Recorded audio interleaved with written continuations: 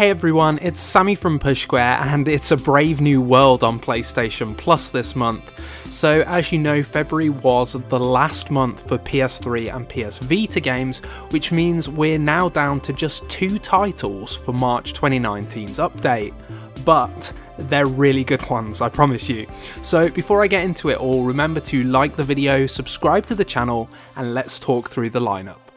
So the first game you're getting is one that I'm very excited about and it's Call of Duty Modern Warfare Remastered. Now this was one of my favourite PlayStation 3 games and I haven't actually played the remaster so I'm super excited to enjoy it again on the PS4 as I've heard that it's a really really good conversion. I've actually almost bought this multiple times so I'm ecstatic about this one. And the other game you're going to get is um, a game called The Witness. Now now, this is one of the smartest, most intelligent puzzle games of modern times.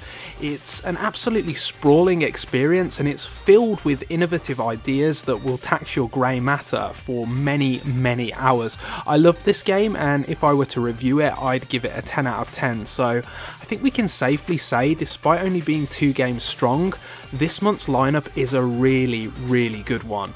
It's also a small one though, like I said, um, and the PS3 and PS Vita games really did help to pad things out. So I'm curious, how are you feeling about this new format? Are you happy with the overall lineup?